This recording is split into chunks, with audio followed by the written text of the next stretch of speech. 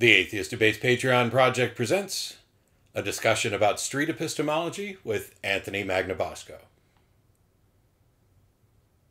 All right, so welcome. The Atheist Debates Project covers a lot of different things. We'll be getting back to more debates, more debate reviews, and more specific arguments uh, in 2017. But I wanted to kind of close out the year by having my friend Anthony Magnabosco, who lives in San Antonio. He was gracious enough to drive all the way up from San Antonio to Austin. Says, what did it take you, like an hour and some change? It was an hour and a half. Hour and a half? Yeah, a little traffic, not too bad. I've driven down there. He's driven up here, but we hadn't actually done this. I mean, you know, he sat in. We we did atheist experience stuff, and I thought it'd be a good idea because you are like the world's foremost advocate, expert practitioner of what's called street epistemology. So why don't we start off explaining as best you can to what street epistemology is and maybe how you found out about it and got started and then we'll get on to you know Sure. pros and cons and lessons learned and Love it, love it. Yeah, so street epistemology originated with Dr. Peter Boghossian's book. He wrote a book called A Manual for Creating Atheists. And I think it came out in 2013. I think we're coming up, coming up on the third year anniversary of when, at least when I read it, which I think was a few months after it came that's out. that seems right Yeah. And we can look it up Yeah, I think it was 2013. That's what I've been telling people for a long time. So hopefully that's true. And I read it and thought, ooh, this is good. I want to give this a try because I wanted to do something atheist related, something for the movement. Mm-hmm. And I thought, well, maybe I'll do a podcast or something. I didn't know what to do. But I did know that I liked speaking with people. And I actually had seen a video where Danielle Muscato, the former PR director of Atheist, Yeah. American Atheist, was engaging with these street preachers and the way that she was arguing with them appealed to me. Like I thought, oh, that's she's so knowledgeable. She knows what's there's a going on. there's a lot of that there's i've engaged with preachers on the street i know Aaron has i know plenty i've seen videos from people there's a lot of different styles and methods That's right. That's right. But you know when I went street out, epistemology focuses on kind of one list of goals or methods or it's it's de- it's definitely different than debating. And when I found myself debating with the street preachers, I didn't. It, it just didn't appeal to me honestly. Like I, it, wa- it was, like I'd seen people doing it, but I didn't feel comfortable doing it. But the funny thing is, is that I initially went out intending to do street epistemology, but was kind of going about it all wrong. It wasn't until I started rereading the book, seeing exa- seeing examples of hearing of examples of people that are doing it, you know, that were doing it back then in the there's a private street epistemology Facebook group, Sure. which is awesome. I, if anyone's interested in that, I'd recommend that they uh, join that. And I was posting my horrible videos of me arguing with people. and I was getting feedback from them. Boghossian started noticing because I was tweeting the links, you know, and he would write back like, uh, more modeling behavior, you know, less arguing, that type of stuff. These little cryptic things. I'm like, well, okay. So I'll go out the next week and try that and get a little bit better at it. But um, so maybe just to take a step back, like street epistemology is it's not debating. At least it shouldn't be. It's it, it's a it's a dialectical approach based on the Socratic method.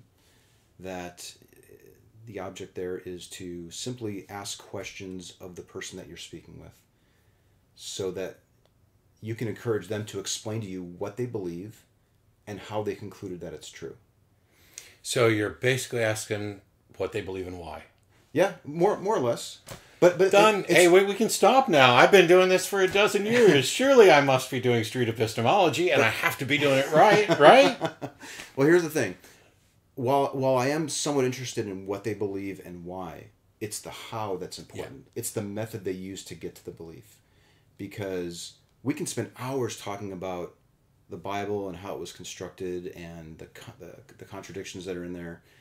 But if somebody's not believing that their God exists because of the Bible, right. and because there are a, an apparent lack of contradictions if that's if that's the reasons why if that's if those aren't the reasons why they say that they believe then i don't really care about those. So se is more about putting aside all all the noise and focusing on the root cause of why they believe and when it comes to a god belief it's almost always faith or at least after the discussion after a period of time where people are pushed back towards a corner where they they start to realize that the reasons they thought they believed that they were giving have all been shut down then it gets back to faith Yeah, faith is usually that last vestige Yeah. that people go to when when they realize that oh boy, I don't have evidence. Um, saying that I was raised with this belief really isn't you know kind of a wise thing to say because I recognize that other people are raised with beliefs, and then faith is usually the fallback position. Now, a minute ago, you mentioned you got feedback from uh, Boghossian about Yeah. you know more modeling behavior. Uh, for the people who don't know, we should probably tell them what modeling behavior is and when you're like in the field doing street epistemology, uh, it- it's, it's it's easy to say that this is essentially oh, there's nothing new. It's just the Socratic method. It's just asking questions, but uh, clearly, Socratic method isn't just you know, do you like peanut butter? The the questions have to relate to what they're saying and what they're thinking, and it's it's really a the Socratic method is really a steering technique. So, what is it about street epistemology that might differ from just a normal Socratic method? Um, do you do you have like a, a list of steps that you're going through? Do you have some? What's going through your mind while the person's sitting standing there in front of you, um, answering questions about their beliefs? Oh, there's a lot there. Okay, so uh, like your last guest, your previous guest, I'm not.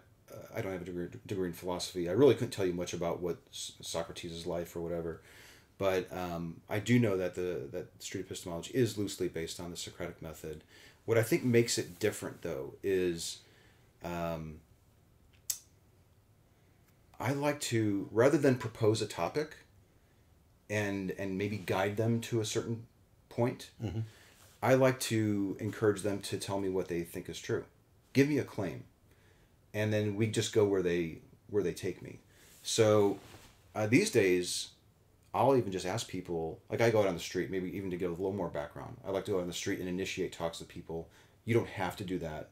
I can wait till I'm in an airplane and somebody says, you know, they have a Bible, and I can just start a chat with them or something, or they make some sort of claim. But I like to just go where they take me um, because this approach is quite versatile. It doesn't always have to be about a God belief. So I don't know if that answers your question, but but Well, I, I love the there a- versatility of it. Is there like a step one, step two, step Ah. three thing that people you know, It's funny or because a starter? okay, So so the street epistemology starter pack model. so Boghossian wrote his book. Yep. several people that have been using it, using the method for, for a few years now, have put together a street epistemology guide. It's a field guide, and it's uh, it's on the SE website, streetepistemology.com. You can download it, and it's it's based on feedback from people who have actually gone out and used the method. Sure. It's awesome. Is there a step by step guide or, or script? Some people watch enough of my videos to then feel comfortable enough to go out and have a talk with somebody and be further along the learning curve than I ever was when I first went out. In a, in a way, I think the script, if there is even a script, I mm. even hate to say the word script, Yeah. But if, if there was a script, if it encourages people to want to have the talks, then I'm fine. Even at the risk of it possibly looking insincere. So kind of a, I mean, you've got plenty of clips up, and we'll we'll put a link to. Basically, Anthony will go out with a camera on and record this, and then edit it. Um, it's interesting to watch because while no two conversations are exactly the same, uh, there's certainly commonalities that that come up, um, and you you you also get to watch people's mannerisms and responses. Um, and I like how in some of the videos you'll highlight, oh, they just looked at the camera, or things along those lines. Here's we we had this discussion before, and as someone who's done a TV show for eleven or twelve years, and I'm a huge fan of the Socratic method, you know the whole the TV show is tell me what you believe and why. We don't always stick to just a Socratic method. I'm happy to point out, no, no, no, that's a fallacy. That's wrong. Um, Yeah. that may not always be the best way. M- maybe that in some situations my way is worse, and in some situations the street epistemology way is worse. And in some cases there's an overlap. It's not like I think that so many people are looking for a magic bullet. We need to fix the world, get rid of superstition and irrationality, and there must be one way to do that. And I I personally think that's wrong. I think that um, what what I see you doing in in street epistemology is certainly one way. I have a way that's I, I have a number of ways, I suppose, because there are occasions where people will say, "Ah, you're doing street epistemology," and there are other occasions where there'll be, "You're doing it wrong," and then there's another situation where they're like, "Oh, what you did there was awesome, no matter what it is." Yeah. Uh, and then there's the kind of you know I've I've certainly been an ass in conversations before, uh, and sometimes that has worked. I won't say that that's never a good thing. I just don't have it as the goal or the starting point. And since street epistemology doesn't, I mean, it's not as you mentioned, it's not tied to atheism or uh, religious beliefs. It can be used for anything. It's it kind of I think probably one thing we could do is say well, I almost want to just say, try do it, do it to me. I know. I, Do- I, as I was driving here, I was like, epistemology "Is Matt going to ask me to try this on him?" Please convince me that I'm wrong about something using street epistemology. But to your point, like I do think that there are a variety of tools available to humans Hmm. to engage with other people about the claims that they that they make. You can be an ass. You can be confrontational. Uh, you can use the more gentle approach of street epistemology. I think it's all about where a person is in their journey from belief to non-belief of a particular claim.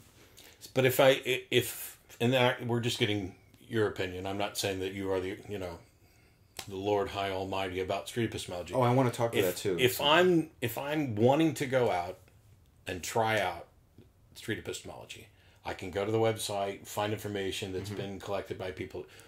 What in your mind should be in my mind when I'm doing this? Mm, okay. Oh, I don't want to lose that thought, but I just want to quickly address the. Just very quickly, I'm not the arbiter of street epistemology. Peter Boghossian even is will admit that he's not. Like there are no popes, there are no leaders. We want people to experiment Sure. with different styles. So just keep that in mind. Um, this is not some dictate from on high as what as Sure. far as what SE should be. If you wanted to go out and talk to people, and again, you don't have to go out and talk to people, initiate the talks. I do it because I want to be good at it. This can happen organically on a plane, and we'll get to preferably I, I think the best conversations happen when it happened to me i was on an airplane and i was wearing a atheist voter t-shirt Mm-hmm. and some guy was we were waiting for our luggage you know the carry-on thing and he's like uh, it was really hot in there and i was like sweating and stuff and the guy's like you like the heat huh and he was like pointing at my shirt so i'm like okay so people like Which started he- was that a hell reference? yeah, it was. It oh was. wow! So, anyways, we got off the jetway. We started talking, and I was doing SE, and it turned out that that he was he was evidence based. So that goes a slightly different direction. But anyways, the point is is that I think the best conversations happen when they are they are organic. Um, as far as a list of things that you might want to consider when you go out, have an open mind. Be willing to change your mind, and I think you are. I've seen enough of your interactions where I think that you are. If somebody had a good argument, they can change my mind about anything, Right. Uh, Yeah. except possibly absolute certainty. But Okay, yeah. Uh, let's see. Um, listen. Take the time. People will respect you more, I think, if you actually show that you're interested in what they're saying and you're repeating it back so that they can not only see that you're you're getting it, but they hear back their own words. I think that's an important thing. Pausing. When somebody says something like profound that they may have never thought of before, like I guess when it really comes down to it, I I believe it because it just makes me feel good. I can sleep better at night when I have this belief. Okay, boom, boom. A few there's, seconds a, of there's a couple things that happen that make the pausing worthwhile, and I'm not speaking with regard to SE, just me. Hmm. And I talk a lot, and I talk fast. And on the TV show, I'm trying to have a conversation that moves along, and you don't want dead air.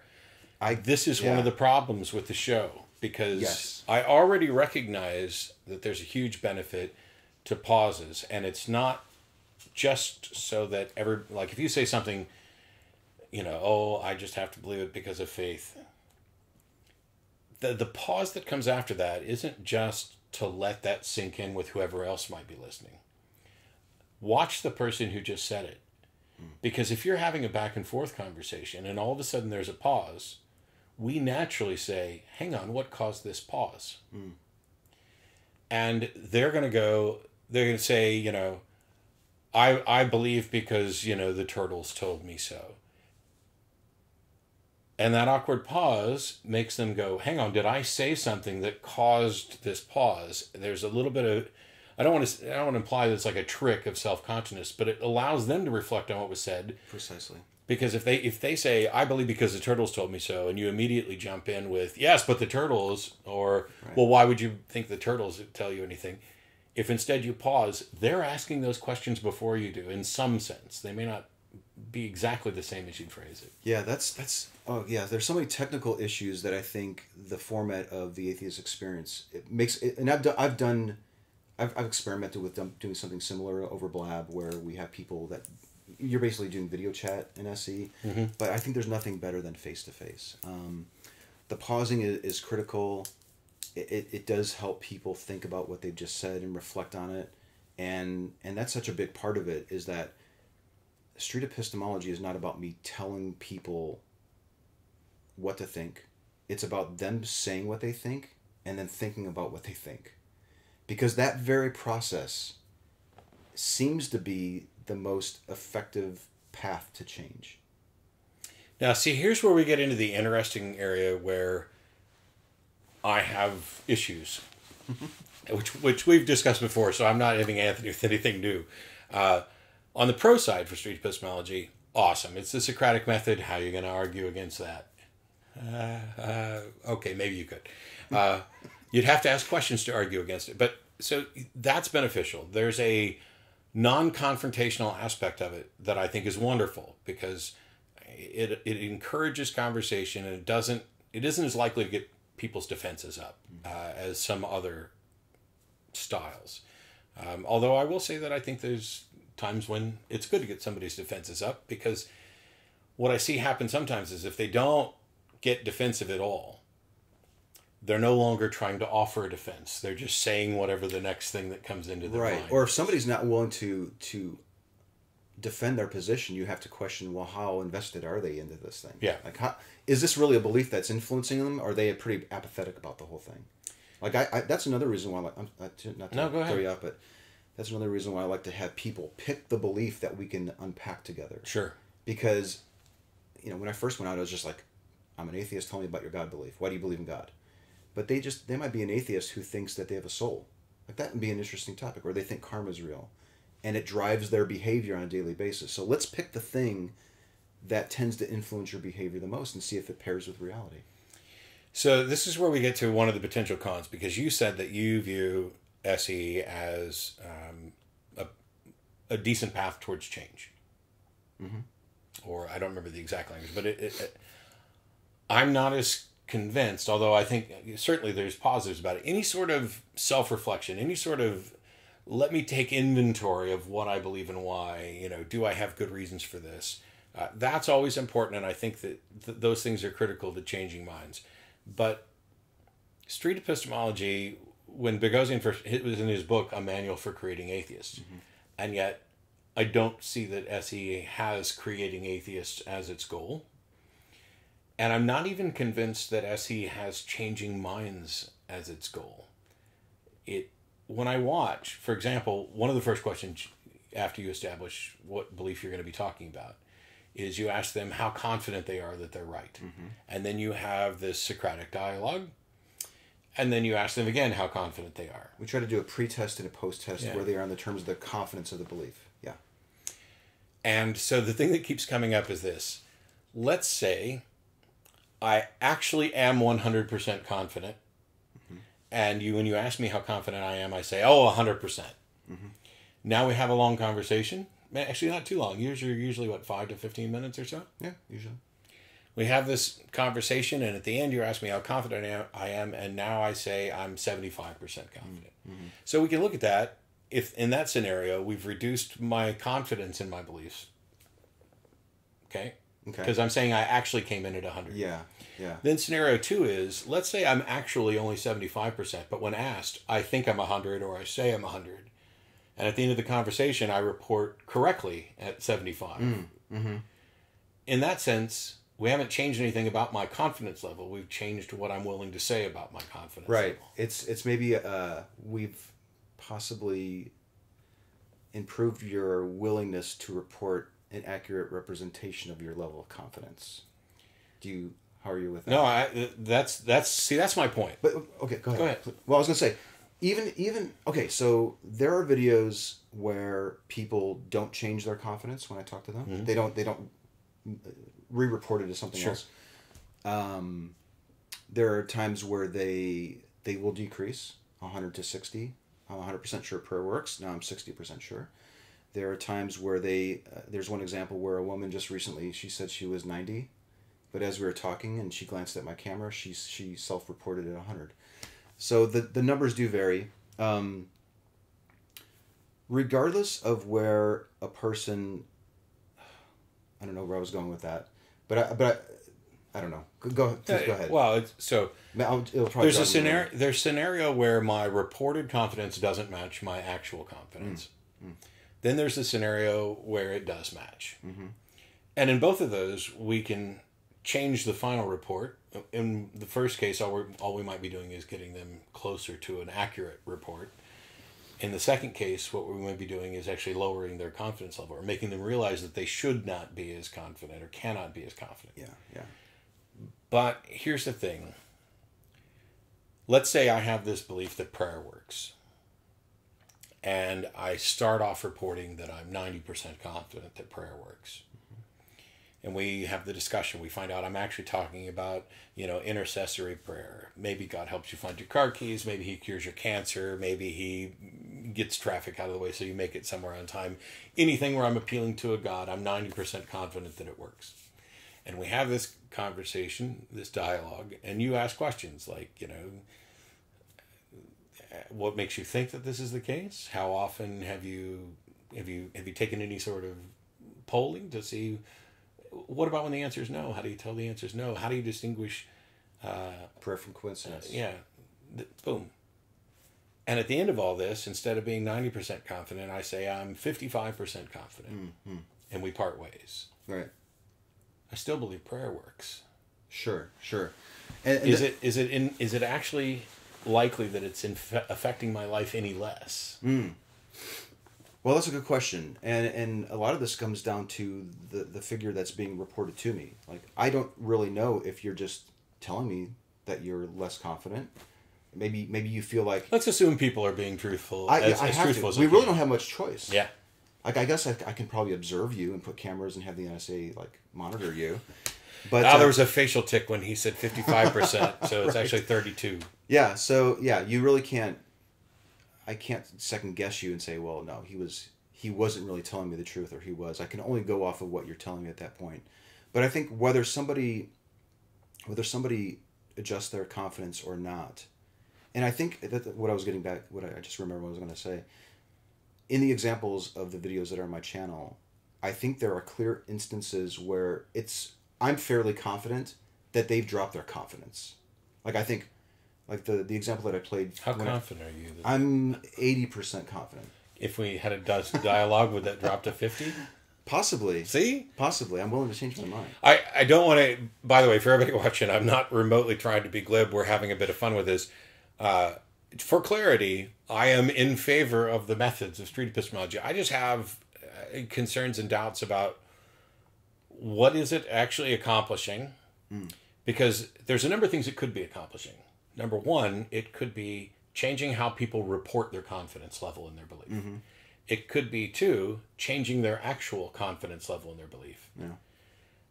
But if we're not actually eliminating those beliefs, then people are still they, they still hold those beliefs and may still be acting on them. So if you believe that um, uh, abortion is murder and should be outlawed, which is a probably I don't know if you've had an I, I essay on that. When it comes time to voting on it, you really have to choose a yes or no. right? Yeah, whether I'm 90% confident or 60% confident isn't going to change the actions that I take that, that much. What it what it might do is change how confident how, how likely I am to try and go out and change somebody else's mind. Because if you're if you're hmm. 95% confident that there's a God and he answers prayer, then you may be going out and sharing that. Mm-hmm. But if you've had your confidence knocked down to maybe 60%, you might be less likely to go out and you mm-hmm. know, share those things. Yeah, I think it does change people's behavior to a certain degree. So, like, yeah, if, if somebody's less confident in their belief, they may be less willing to act out on it and, and maybe do something rash or,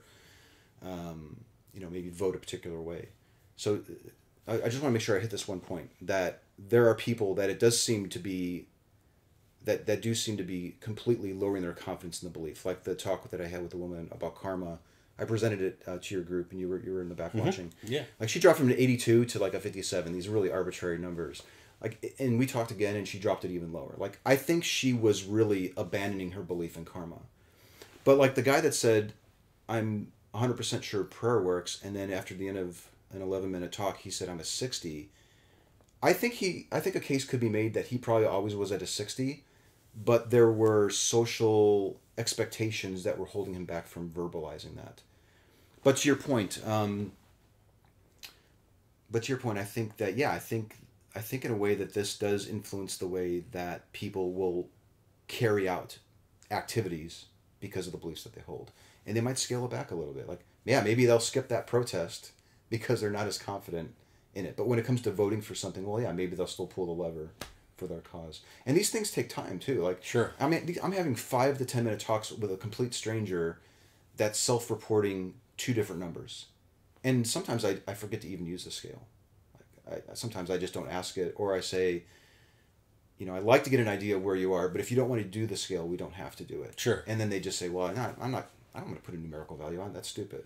Do you think that it changes the labels they're likely to use to identify themselves? Um, so if somebody walks in and says, "Oh, I'm a Christian," or whatever label they would use to say, "I, I believe karma is real," I think they put a modifier on it. So they might say, I'm a strong Christian and now I'm, I'm a lukewarm Christian or something like that.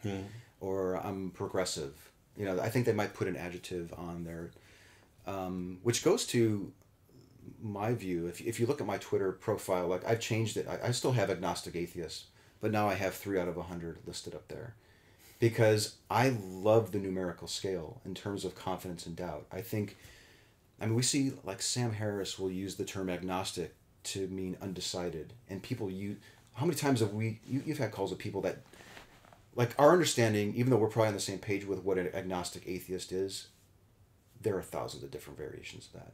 Well, I actually, even despite the fact that it appears on the Iron Chariots wiki, uh, there's been so many conversations about it that I'm, I'm convinced that agnostic atheists that particular label combination doesn't make any sense because it only, yeah, because knowledge being a subset of belief, if you're using atheism as I don't believe this, as opposed to atheism as I believe there are no gods. So, agnostic atheist doesn't apply to atheist in the soft atheist context. It can only apply in the hard atheist context. But see, the average person on the street have they have vague understanding. They, that- they don't know any of this. Yeah, they don't. We spend way too much time on it. We're invested vested in it and all this stuff.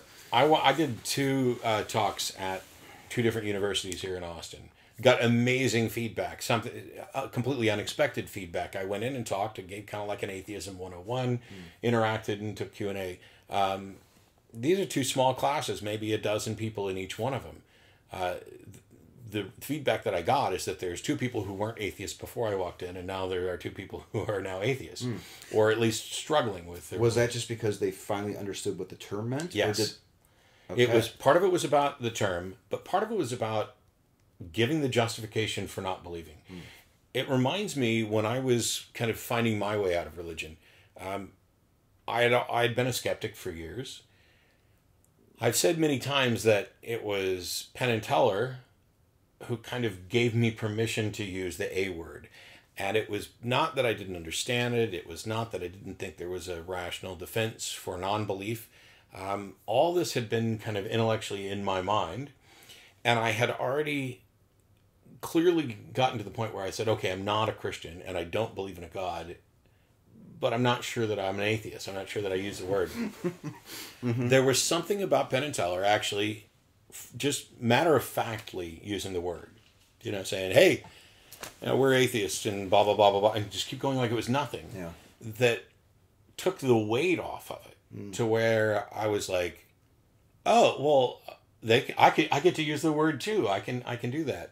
And these conversations that, that took place, it was it wasn't an SE type thing. It wasn't a Socratic dialogue. It was me walking in, giving a lecture, and then answering questions. And from their perspective, they saw somebody who met the stereotypes in some senses of being a you know bald bearded overweight white guy Uh, but in other senses, I didn't match their expectations. That their view was atheists are angry, uh, that they're rebelling against God, that the God claims are so obvious and they've been around for so long, and so many people have believed them, and so many people much smarter than me have have believed this.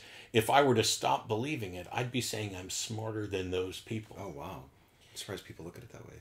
it's it's a terrifying proposition that I've received many times over the course of years of the show.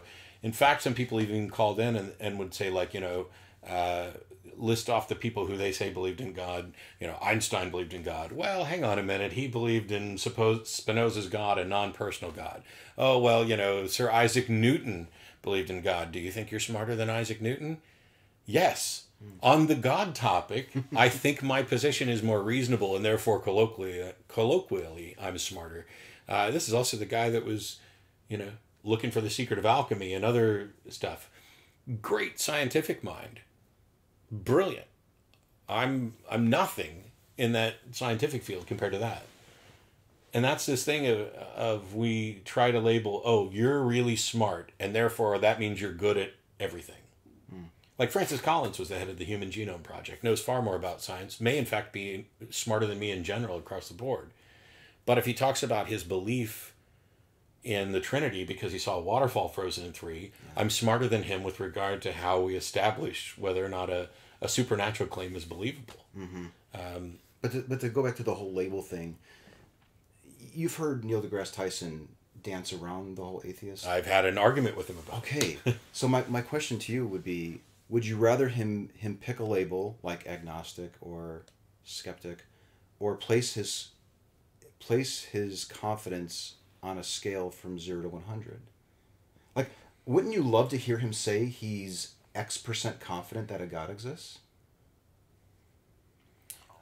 Well, one of the things about this is, and and actually in the discussion I had with Alex the other day, this seems to be the way uh, because Blake Blake had done this too. You know, judging someone's confidence level is often done in terms of you know how much would you be willing to bet, what kind of odds would you take Yeah. on that on that Put, bet. put something at stake. But my problem with all that is that it it now has you cons- evaluating two propositions. Proposition A is God exists, and proposition B is God doesn't exist, and you're putting those at either end of the scale and roughly trying to figure out where you are on the scale. Mm-hmm. And for unfalsifiable propositions, I can't go either direction on a scale. I can't.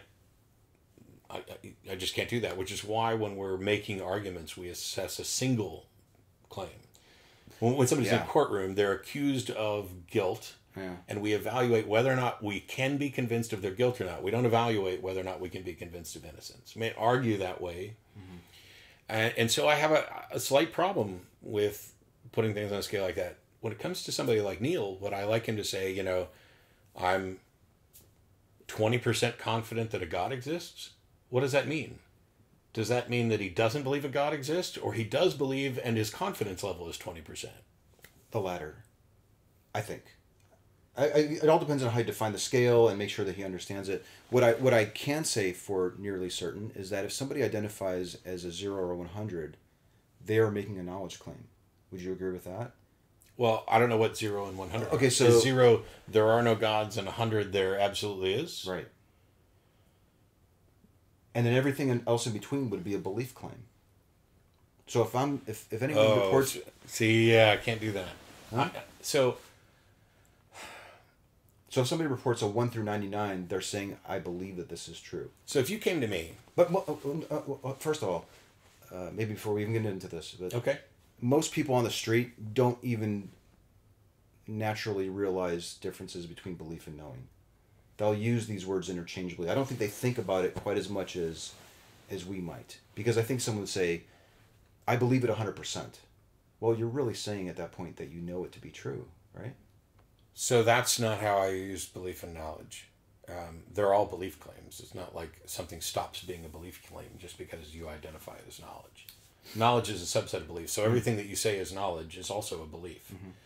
And while there are philosophical ideas like justified true belief and stuff like that for defining knowledge, um, I don't think that matches what anybody really is talking about on the street. Normally, when somebody says "I know," what they say, what they mean is "I really, really, really, really, really believe." Like I believe so strongly, and the definition of knowledge that I've used for this is knowledge is a belief held to a confidence level so high that it would be worldview altering to discover you were wrong. Yeah. And so if you if you came to me and said, okay, here's this scale from zero, I'm absolutely confident, absolutely certain there is no God. At a hundred, I'm absolutely certain there is a God. Mm-hmm. My first thing is I'm not absolutely certain about anything, so I can't be at zero or a hundred. But also, uh, because the claim is potentially unfalsifiable, that means I can't move from the fifty towards zero. If it's unfalsifiable, it means I have no way to investigate to show that it's false. Mm-hmm. I have no way to confirm that no gods exist, so I'm stuck at the 50. And if there's insufficient evidence to move me towards it, I'm stuck at the 50 there, which puts you in this 50 50. Yeah. Which is why I was saying if somebody says I'm 20% confident that there's a God, does that mean that they're 20% of the way from 50 to 100? Or are they 20% of the way from 0 to 100? Because mm. if you're if you're mm. on the 0 to 100 and they say I'm at a 20, that mm-hmm. basically means that they're you know within 20% of certainty that there isn't a god. Yeah. Yeah. So so how do you, how do you use the scale? How would you use the scale? Let's say I'm sitting here and I say I don't believe a god exists. So I would try to get a sense of where you are in terms of your level of confidence and doubt.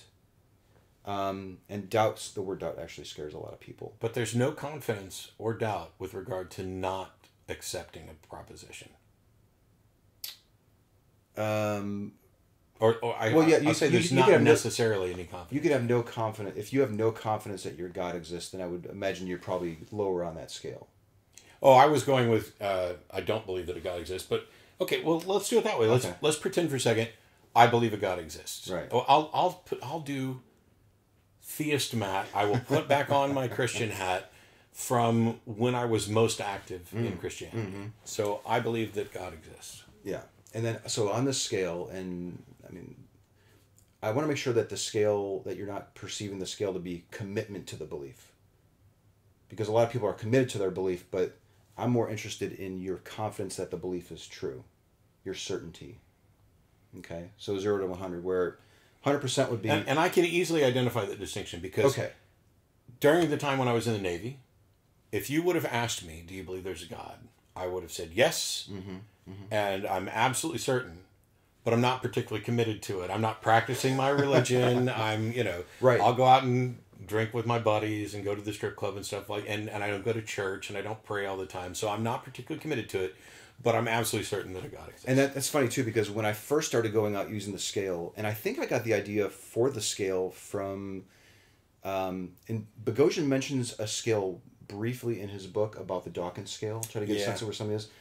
I, that that that scale's flipped in my mind because it goes up to Seven. s- s- a set and seven, and the seven is like I don't believe a God, or I know a God doesn't exist. I think is where that ends. yeah, and and But what I was getting at there, though, is that when I first started going out, I was asking people, where are you in the terms of your strength that the belief is true? Something like that.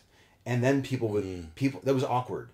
But the beauty of being in that community that I mentioned before, that Facebook group, is I've got feedback from people that said, you know, strength is so, is so subjective. Let's, let's try to get an idea of where people are in terms of their confidence, their certainty that it's true. And this all goes back to well, it's just a self-reported number.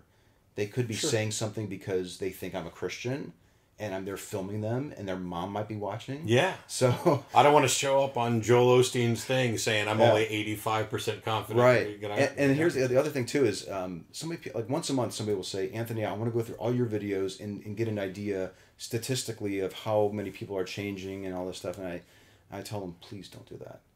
This is not an accurate representation. Number one, because I don't upload every video that I have a conversation with, and even if I did, it still wouldn't be scientific. You've got a small sample. So you've got the videos Anthony has selected to post from the small sample of people in and around San Antonio that have agreed to speak on to- camera. yeah. yeah. There- There's so many so many things about this that that are potentially poisoning the well. But no, but uh, here's the thing: like I don't like. It seems from the feedback that I'm getting, and it's personal experience, so my level of confidence fluctuates and all that. But it does seem to be effective in helping people re-examine why they have the belief. What are my reasons? Sure. And do they do they hold up to a little bit of scrutiny? And if they don't, if I'm struggling to explain why I believe this, then I damn well better sure bet- better make sure that I have good reasons for it. Some people don't care and they're like, "Yeah, I don't have bad reasons for it, but I believe it. It makes me feel good." And other people, I think, tend to value truth a little more, and they want to replace those bad reasons, those unreliable methods, with better reasons, better methods. So I'm, I'm probably not as, not as good of an example as the person that you're likely to run into on the street, um, because Well, you're a skeptic. So. well, no. The other thing is I've spent so much time in this, and I have my views about this. That merely presenting me with a scale is going to be a problem, because I have you know if you put the zero to hundred with no God here and God here, I already have massive objections to the scale. That, right, right. You know- and again, it's the, the whole. Okay. So, a lot, a lot but of let's people do this where I'm the believer. I'm Matt, Circa. uh, 1990.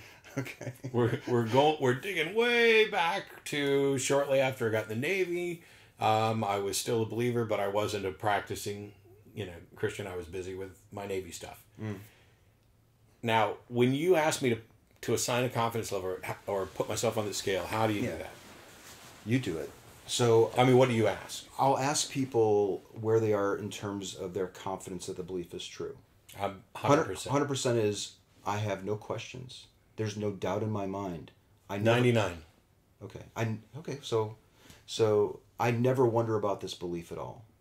I have no questions about it. I'm absolutely certain that it's true. I know that it's true. That's usually how. That's sort of my my little spiel. Yeah, and see, this is the part where, much the same way that Beth said I would never be picked for a jury because of the way my brain works, I, I at the time would have been able to say that I was absolutely certain that it's true that a God exists. But I also had questions. But hmm. my questions weren't, hey, is it true that God exists? They were more about, why are things the way they are given that God exists? The clip that I showed you, I don't know if you'll play it or not, but uh, it's, she's wearing a bright yellow shirt, and and she bounces from. She's initially ninety in terms of that scale, and then she glances at the camera and like, uh, um, put me down for hundred instead.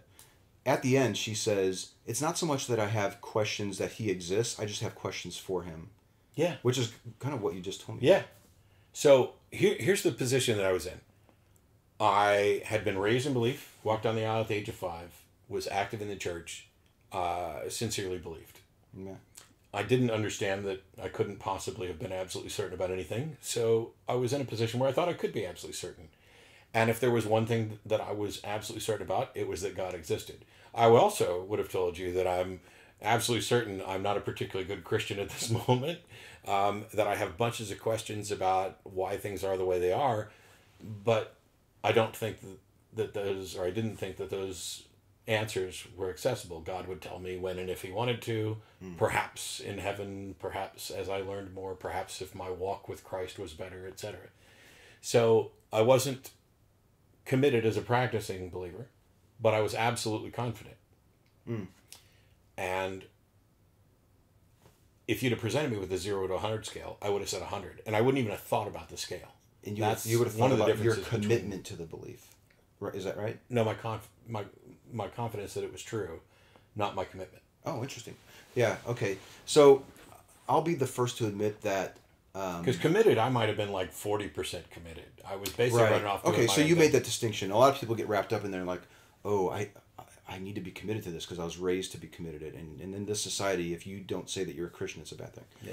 Um, but I, I know that back then, if you presented with the scale, Mm-hmm. I'd just give you a 100 and it would have been pretty accurately representing what I understood within myself. Yeah. And now, I can't even accept the scale because having spent so much time looking at belief and knowledge and, and confidence levels and things like that, I think the scale itself is wrong. Okay. So But we'll we'll do it. We'll, we'll continue with me as this. we're beating the scale thing to death. Oh, you want to keep going?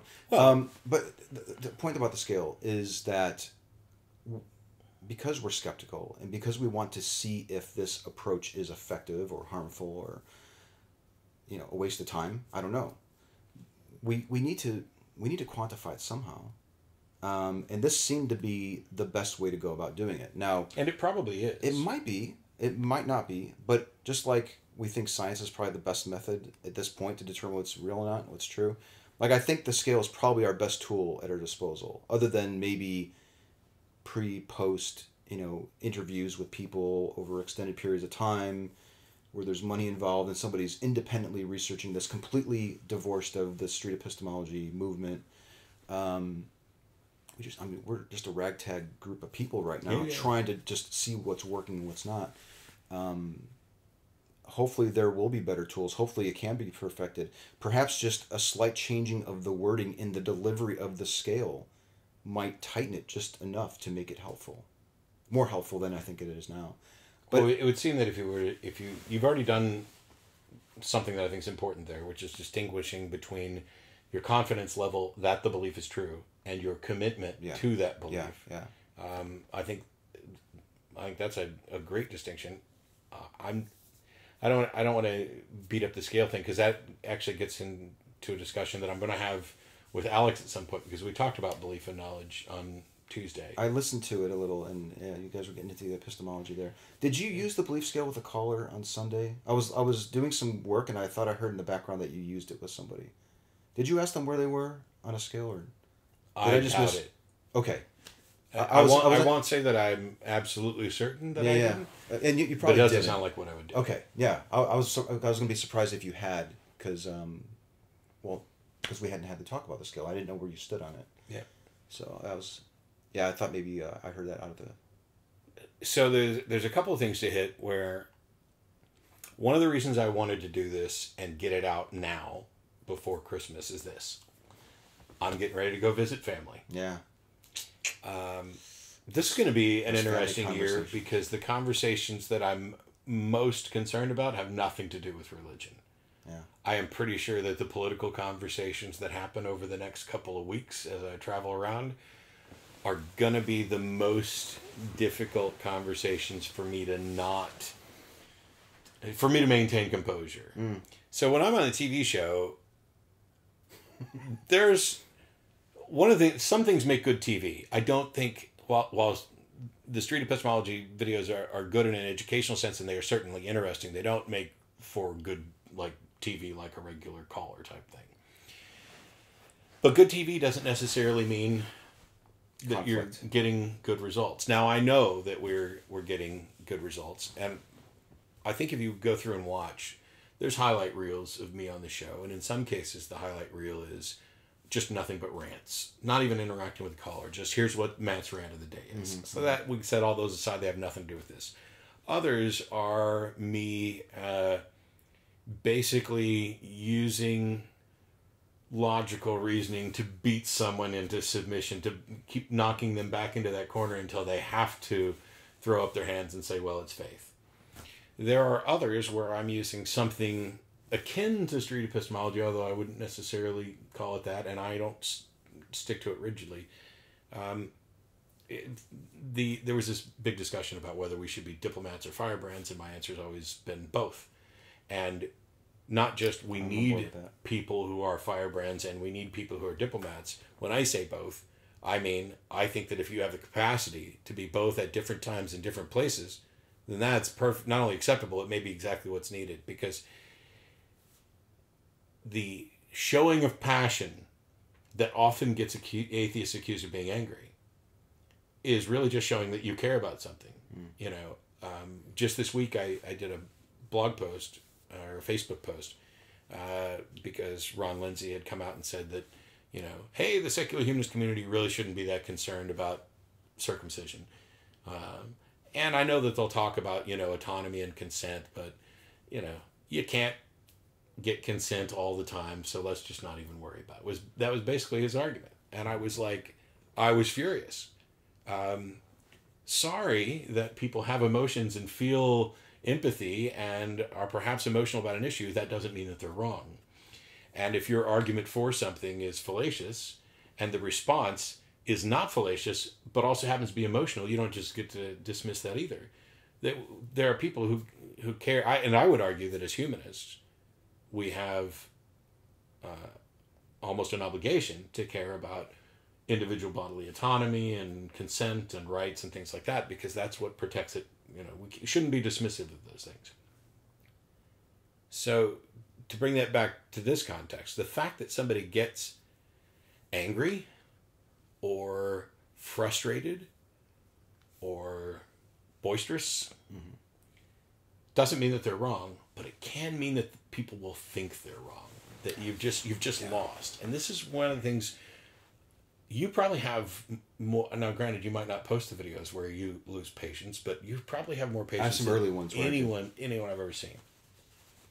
the the common the thing that we have in common the let's say okay firebrand and diplomat if we want to use those terms is that i think we both care Yes. we, we both want to change the world for the better and and sure like i can turn it up i've got videos you can go back three years when i first went out i was arguing and debating and because i care like i want to help the people that i'm talking to but That, that's the concern that I have that I was kind of getting to is that it can look apathetic to argue and yell to to to do street epistemology. oh really It can. Oh my gosh. It can. So you could be sitting there, oh and that's interesting it could can appear that I'm not trying to change your mind. I don't really care to to try to change your mind. I just want to get an Oh. understanding of what you oh. mm, believe. Mm. And I know Yeah. for a fact that not only am I generally incapable of doing that, but I don't want to. I need it needs to be clear to the person I'm talking to at some point in the conversation, not necessarily starting there, and it doesn't even have to get confrontational. For me, it needs to be in there. I don't agree with you, mm. And I have concerns um, that make me care enough to potentially want to change your mind. Sure, sure. So, okay, yeah, I, I, I totally get what you're saying there. Um, maybe the, the, the, the beauty of the conversations that you might see on my channel where you get those reflective moments is because people don't feel like they're encountering an opponent. Like here is somebody who's who's generally interested in what I believe and they're willing to work with me to figure out why I have the belief. Um, me starting off by saying, "Hey, my name's Anthony. I'm an atheist, and I want to figure out why you believe in a God." The walls will go up. I, I've done that, and you can see it on. You can just see it in their body language. You see it in the words. They'll just walk away. They won't even want to have a talk with you. In a way, this kind of goes back to a common criticism of SE is that you're not being you're not being straightforward with people enough to let them know where you stand on that belief. I saw a comment just yesterday on Facebook that said they were baffled that the person you're talking to doesn't know where you're going because it's so obvious and it seems uh, disingenuous or Well, dishonest. that's, I think that's because like I don't know about that commenter, but Sure. we uh, you know we we we live this. We're in the atheist movement. You know, we might see where it's going because we're invested in this whole thing. Whereas somebody off the street to be being asked might not even pick up on the fact that Right. Oh wow! Like, why is he questioning about my beliefs? Is this going to? Is he trying to instill doubt here? That was exactly my, my thought when I saw that comment is, well, of course you see where he's going. Yeah. How many of these videos have you watched? How many episodes of this have you watched? How much time you spent on this? These are Right. these are people on the street. When I went in to speak to those two universities, I did a kind of like an informal straw poll. Nobody in either or nobody in the classroom that I asked had ever even heard of William Lane Craig. Mm. Mm. And they were predominantly Christians. They had all heard of Dawkins because he had been discussed as part of their homework, but nobody knew who Craig was. Um, and yet he's the easily one of the one of if not the foremost Christian apologist yeah. uh, in debate. I don't know if this has ever happened, and, and this is me not being in the SE community because I just do. I really would thing. love it if you would join that group. I really would love it if I had enough time to do lurk. I mean, the posts are so good. here here's the thing let's say i i decide to go out and do this what's in my head right now to do? Uh, and i probably wouldn't film it at least not for a while. Is not begin by saying hi i'm matt i'm an atheist. I'd like to know why you believe in god. But get start the start the conversation asking the questions. I'd like to find out and understand why you believe what you believe. At some point in the conversation I think the question that I would most like to ask is what do you think I believe? Hmm. Would it surprise you if I to find out I agreed with you? Hmm, hmm. Would it surprise you to find out I disagreed with you? any of those three questions, or perhaps all of them, not only get into this idea of kind of self reflective thought, but it gets to the intentional stance of looking at, I'm trying to look at it through your eyes. Yeah. Have you for a moment tried to think about where I'm at? Not that it matters. And and make it clear that, you know, if at the end of this, you know, neither of us have changed our mind, um, I'll consider that a little unfortunate Yeah. uh, because one of us has to be right, or at least we can't both be right. So okay, so when I have a, both be wrong. when I have an SE conversation, I don't know how many of my videos you've watched, but what? Uh, half a dozen or so, probably. okay, recent ones. Only the one you sent this morning. I don't know how recent that is. Okay. Um, what I usually say is uh, I like to have short little conversations with people to identify a belief that you think is true or probably true and investigate the reasons, the method that you use to conclude that it's true. What are the reasons? How did you determine that it's actually true? Um, by me saying, by the way, you might end up picking a belief that I completely disagree. And so, actually, now that I think about it, I probably have some, said something to the effect of, um, I try to be very neutral on it. I'm going to just ask questions. I'm not going to be telling you what to think, and and um, I'm going to just listen and ask you questions. And by the end of the talk, you might be less confident, more confident, just as confident in the belief that you hold. That's kind of my little. That's t- including the scale. That the scales are part of that too. That's usually how I go about doing it. I don't think I'd have a problem by saying, and I can probably deliver it in a way that wouldn't shut them down to say something like, now, you can pick any belief. I like to talk about supernatural beliefs, but if you were to pick God, or you know, I there, you might actually pick a belief that I completely disagree with, but um, it might be interesting at the end of the talk to see, after you give me your reasons why you think it's true, to get a sense of where you think I am on that particular belief. We could do that. I don't have a problem with that. and I have such a directed focus. Um, and you know, the I, I'm not even sure if I have a style. There's a style that I've cultivated over the years, and it's different if we I'm want, on an airplane. We, but we want different styles from Yes. people. Like, I do think there's some merit in people watching the videos and mimicking what Anthony does. yeah, don't be Anthony. Don't please don't. take take things from his stuff, things from my stuff, things from somebody else's stuff, and then come up with your own ideas. Mod it. Make it your because own. uh, if if you find a better way, we, we would like to know. That's yeah. Uh, Exactly. I know from from me, not only asking them, "Hey, do you think?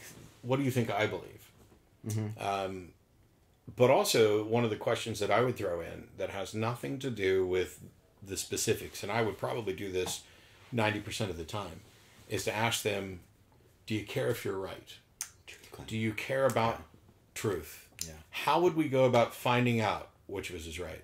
If you were confident, as if you were, if you were incredibly confident that you were correct, and that this belief is important, and that I'm wrong, how would you go about changing my mind? How would you go about exposing to me that I'm wrong? Do you even care that I might be holding a belief that's not true? And that's that to me is is is critical because there are plenty of people who will say, you know, oh, I'm incredibly confident that a God exists, but I don't care what you believe. It doesn't matter to me. And Yeah. I don't have that belief. I also don't have like 100% confidence that there isn't a God. Uh, I might be stuck at 50 50 depending on how we define terms. But I care what other people believe because their beliefs inform their actions and their actions. Right. affect- I would like to live in a world full of reasonable people.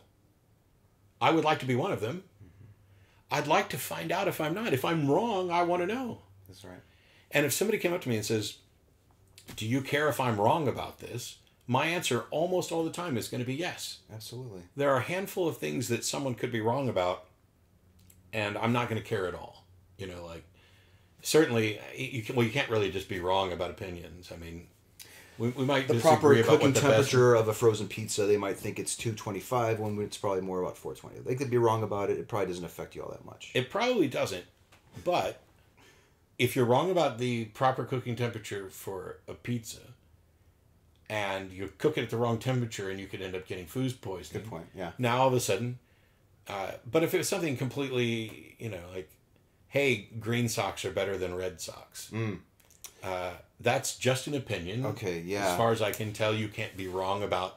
So that's interesting because yeah, there's a there's a certain assumption when I talk to people that they have a similar value of truth as I do, and not everybody does. and I know you get callers like that, and I talk to people where I could be ten minutes into a conversation where they've established a belief and they've established where they are in terms of their confidence in that belief, only to find out that everyone can have their own truth, Uh, and that that just so I think it was Thomas Paine who said that um, trying to reason with someone who's abandoned reasoning is like trying to administer medicine to the dead. I have that on my Twitter. Yeah, if you can't get to, if somebody says, "Hey, oh, yeah, I absolutely care if it's true," but what they mean by true is Yeah, yeah. so dramatically different. Well, it's true for me. Right. Yeah, yeah. I've been experimenting. There, there's this one guy I've been working with. It's interesting because the videos are getting noticed by experts in different fields. So people familiar in, um, in NLP and motivational interviewing and psychology and critical thinking and filming people in public. Like all these various experts are coming in and giving me suggestions, which is great because then I can roll them out into the field. And one of the suggestions was before you even get into what the person believes, you need to really get a sense of where they are in terms of their value of truth. Because if somebody doesn't value truth, you've got a larger issue before getting into why they think a God exists or they think karma is real. I believe this, and my reasons don't matter at all unless my reasons are tied to truth. Did you see the video that I did with the woman on the trail? Uh, she said that everyone can have their own truth, and I reached out and snatched her water bottle. Yes, Did you see that one? I think I think you Yeah, should. it was just a little tiny little uh, short little clip but but um, yeah so many people but here's the thing the people that say that everyone has their own truth and truth is an opinion don't live that way No, nobody. they does. would never leave their house Yeah. It, it- that denial of truth or that thing of personal truth um, is, I think, more of a defense mechanism to have to avoid having to defend beliefs. Because as soon as you say it's true It's like- for me, it's being like it's almost like being pacifist or i need to be so accommodating that i'm going to allow anyone to have their own reality yeah. Well, that's my camera, and it's currently recording. You and I would agree on that. well i don't know for sure it's your camera True. and it looks like it might be recording but go ahead We'll check it later. yeah Uh, if it's not recording, we're completely screwed. Uh, but to sit here and say, "Oh well, you know that's true for you," but what's true for me is that it's my camera. You know, it's, it's Anthony's camera and it's recording. Uh, now we've got a big problem because our truths are not only in conflict; they're in conflict over something that we're both claiming ownership of. right right And so, you know, what do we do then? Because if you say, okay, we're going to go to the authorities, well, going to the authorities is true for you, but I it's actually, not true for I actually me. went to the authorities and they told me that it is mine. So Well, those are your authorities in your truth. In my truth, my authorities Yeah. said that your authorities aren't authorities. yeah, this this is a real big problem, and I don't. It's, it's, it's, I, I I just think again, this goes back to a lot of people never really giving a lot of thought to Yeah. the beliefs that they have in their head, especially the people that claim about that claim the subjective truth. I think I think the true thing is, as soon as somebody says it, um, I'm happy to continue. We have to set aside everything we were talking about, and now we can only talk about truth. Yeah, Now we can Exactly. only talk about And- you know, and what, what can we agree on. and I've had good discussions with a few people about truth, where I've actually started off by saying. Um, I like to have talks with people about what they believe, but but I'd really like to first understand what your definition of truth is. What is what does true mean to you? And then if they say, well, it's a fact, it's something that's real, then I might move on to the second step, which Yeah. is what do you believe? But if they say, oh, um, well, you know, I have my own truth, and I look around, and and if it feels good, it's true, and and you know, you can really have your own truth. Then I know that we might have a larger issue, and it, it, it would be a waste of time to move on. yeah, this we are stuck having to interpret reality Yeah. based on our experiences. But if we have this blind primacy of experience to where if I experience it, it's necessarily true, now we're making a mistake because you come and tell me, hey, I saw a ghost last night. I'm happy to believe that you saw something or you had some experience mm-hmm. and that your ac- best, most accurate explanation of it is I saw a ghost. That doesn't mean I believe you actually saw a ghost. I'm happy to believe you had some experience. It's your interpretation of that experience that I'm questioning. And that's all we can ever do. how do we then go out and investigate? You know, we can look up the serial number on the camera and see where it was registered. You know, whatever. Yeah. Um, so I want to I want to kind of wrap this up and and close with some thoughts. I- touched on a minute ago. One of the reasons to do this is that I'll be traveling, and I know a lot of other people will be engaging with families and having conversations. Yes. Some of them potentially religious, some of them political. Um, doing what I do on the show probably isn't the best thing to make your holiday season pleasant. Um, I, I say that there are things I've done on the show which would be perfectly acceptable.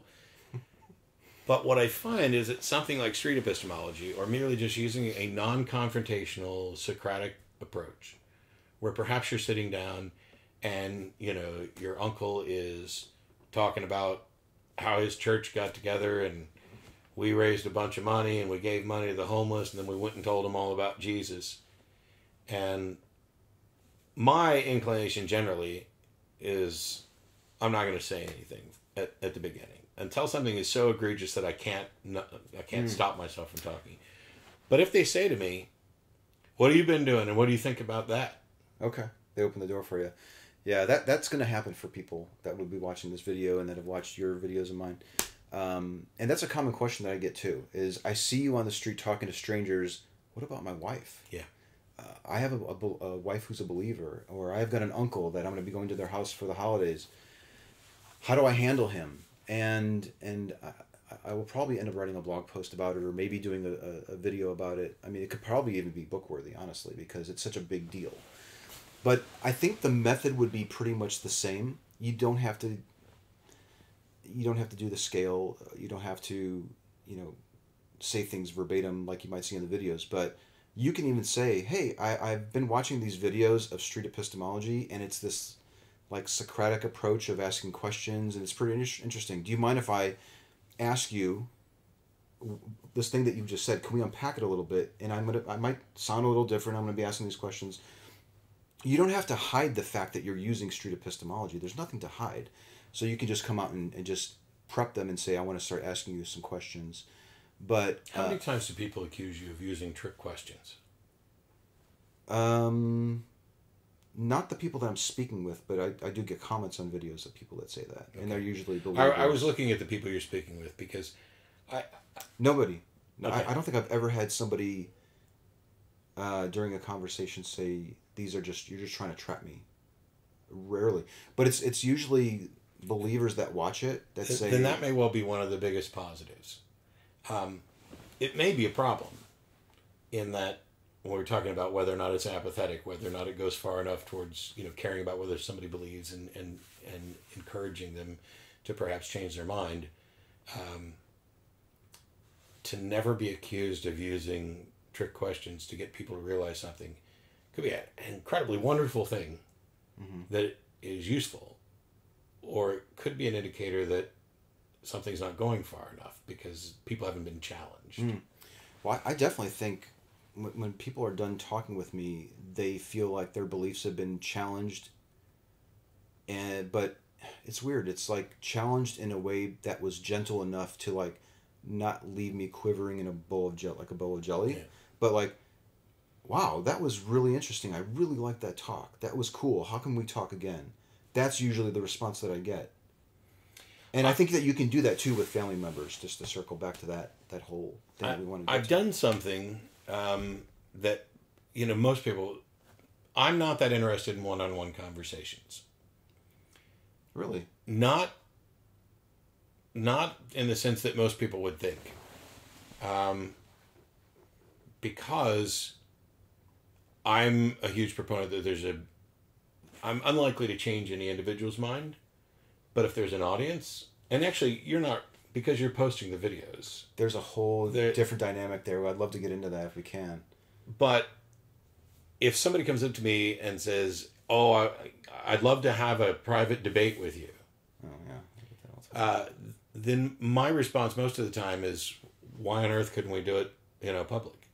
Um, because I, I have limited time, and so if I sit down, and I talk to one person for an hour, and it's not recorded, and there's no audience. Yeah. Um, I may change their mind. I may not. They may change my mind.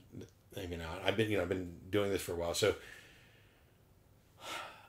it's not that I don't care about people on a one-on-one thing. It's a, it's, a, it's an efficiency thing, oh, I get you, I get you totally. and it's about trying to make sure that if I'm going to put all the effort into having this conversation and going through it, plus, the odds are the person I'm talking to believes things, the same things or similar things for similar reasons to the next twenty people who are going to want a one-on-one one-on-one conversation. Mm.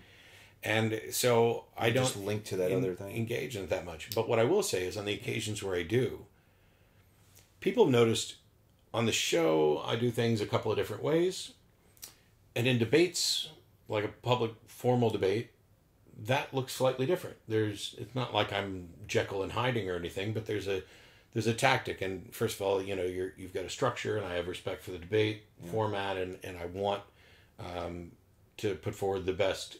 Well, I'm always trying to put forward the best I can. And then if you saw me in a conversation with somebody one on one, whether it's on a plane, um, and especially if it's a family member, I I don't think you would find me unrecognizable. I think you would see elements of all of this repeated.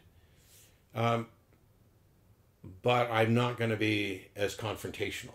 I had an opportunity to see you engage with a believer when we were outside the steps of the uh, the Capitol building. I can't remember what we were protesting, like the, the National Day of, or the, the Day of Prayer. Mm-hmm. Um, and there was that woman who was she was talking to me a little bit, and then I, I noticed you talking to her. And yeah, you, you yeah you were having a conversation with her, and it was awesome. Yeah, it was it was great. So yeah, I think we do have different styles depending on the venue that we're in, depending on the audience. When I'm having a conversation with somebody on the street using street epistemology, I have a camera on, and as I'm asking the questions, I'm also thinking about how is this going to be perceived by the thousands Right. of people that will be watching it. So in a way, like a lot, I get people, people ask me all the time, how can you be so patient? Well, it helps knowing that my work will be watched by people who will call me out on my bullshit if I am a total jerk to that person. First of all, it helps, like you mentioned before. It, and I've given the same advice. First of all, you should care about the kind about, about the kind of world you live in, the person you're talking to.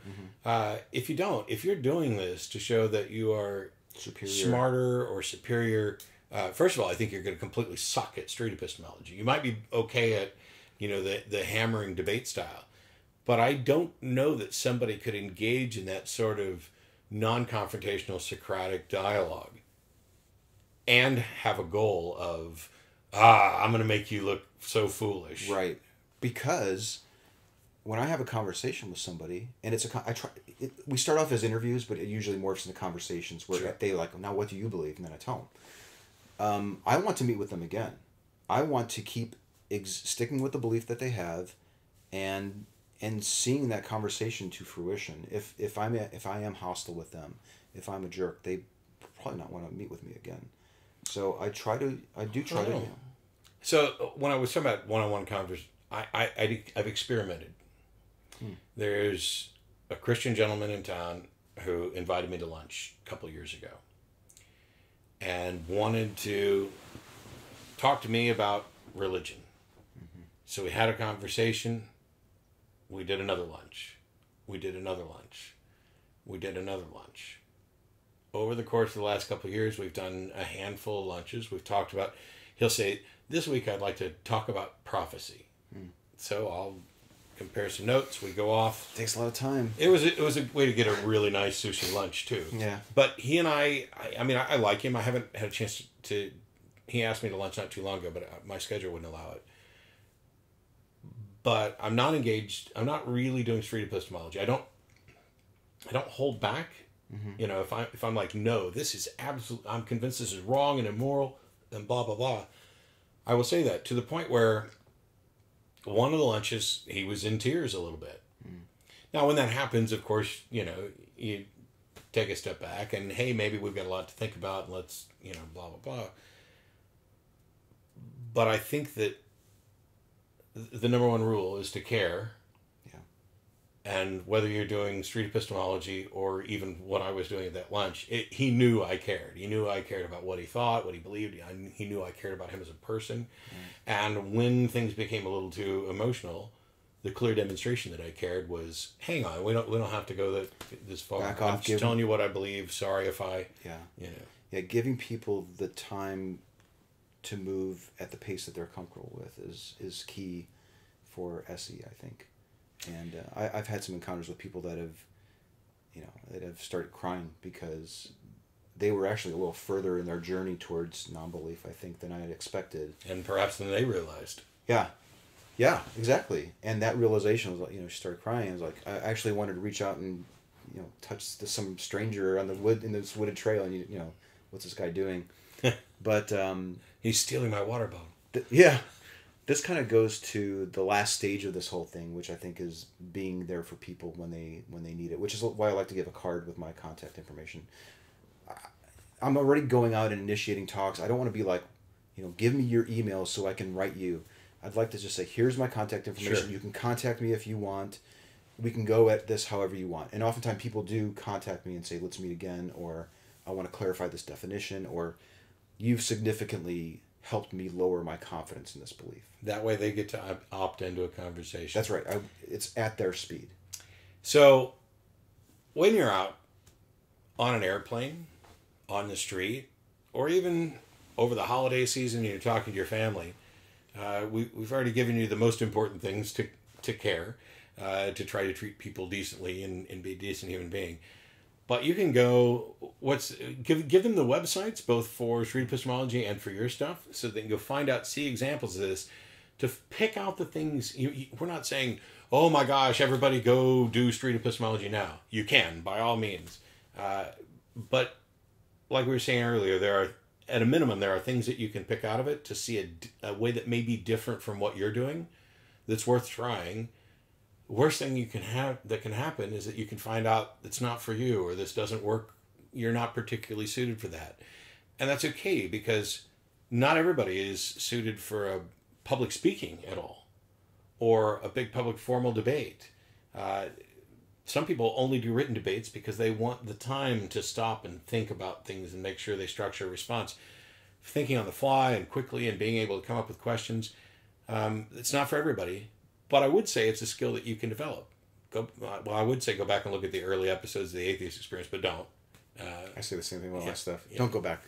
just just look at the most recent. Uh, but anyway, tell us where we can find out more about street epistemology, about your work, etc.